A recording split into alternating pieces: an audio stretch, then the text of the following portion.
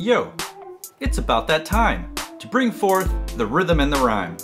Today's video is going to be about the Ultra Boost 4.0 in the white colorway, an oldie but a goodie.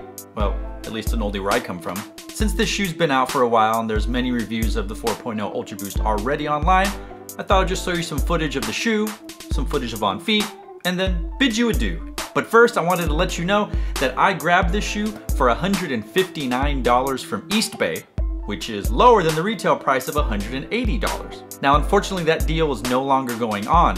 But today, on Sneaker Twitter, again, if you're not following Sneaker Twitter, you're doing it wrong, there are plenty of deals out there right now for the white Ultra Boost, the core black Ultra Boost. Just look for them and they're there. Basically, if you're paying retail price for the all white Ultra Boost 4.0, you're probably not searching hard enough. And if you search and can't find it for a good deal, just wait because it seems like every week there's a good deal on Adidas shoes. So hodl. As usual, if you like the video, thumbs up, maybe subscribe, and maybe leave a comment down below. So let's get to it, to it.